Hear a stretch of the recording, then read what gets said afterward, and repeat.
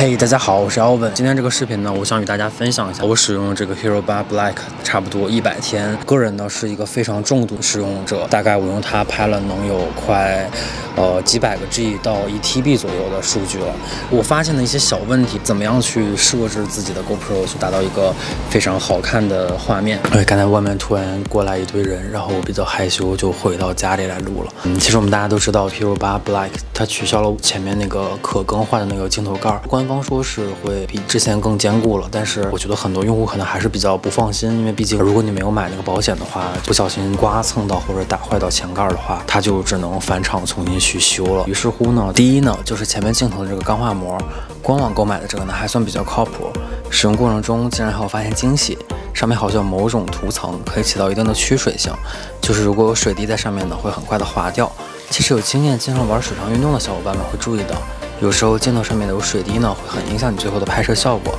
比如这个我在巴哈马使用 Doom 拍摄的一个画面，如果没有这些水滴的话呢，画面会好看很多。相反，之前在 Amazon 上面购买九块九包邮的后面触摸屏幕的钢化膜，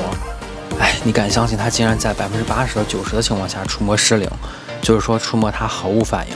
后来我觉得可能是因为我购买到了副厂的钢化膜吧，于是我就在 GoPro 的官网上下单了二十道原厂钢化膜，情况呢是有所好转。现在百分之八十到九十的情况下也都还可以用，可是有时候还是会触摸失灵。我问了同样跟我购买 Hero 八并且贴了膜的小伙伴们，他们也有同样的情况发生。我之前给我的 Action 购买的九块九包邮的钢化膜呢，手感就极其好。可以说跟 iPhone 的触摸感没有任何区别。你试想一下，比如说你正在跟你的小伙伴一起滑雪，然后你的小伙伴，比如说他跟你说，哦，你要录我，然后我要去跳一个什么，跳一个跳一个很完美的动作，然后你必须啊去录到我。哎，我这边说我没问题，我这回我就想把我的 setting 从 4K 六十调成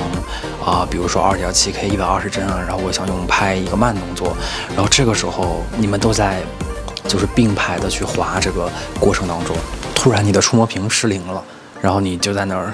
开始调你的那个 GoPro，然后怎么调都调不过去，然后你的同伴呢，这时候他也不知道，他就继续往前滑，就知道他可能你这个设定设定好了之后，他可能已经滑到山脚下了，这个就很难受。第二呢，就是下面这个磁吸的设计，虽然它真的是一个很有创意的设计，你不用再用手抠老一代那个壳，真的很难打开。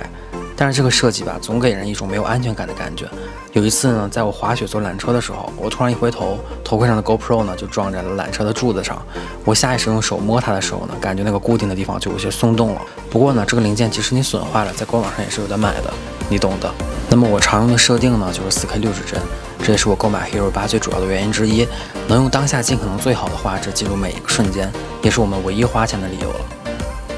比特率呢设定为高，快门速度设置为自动。如果你不使用100 AD Degree Rule 和 ND Filters，那么对于大部分人、大部分情况来说呢，让机器去决定这些，往往比手动繁琐的设定成功率更高。很多时候呢，我们需要快速去抓拍每一个瞬间嘛。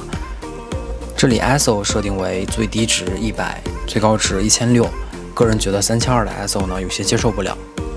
个人比较推荐留在自定义菜单里的呢是二点七 K 一百二十帧的慢动作。和 4K 三十帧的 Super View，就第一人称的超广角。好啦，谢谢大家。如果大家喜欢我的视频呢，请订阅和关注我的频道，谢谢，拜拜。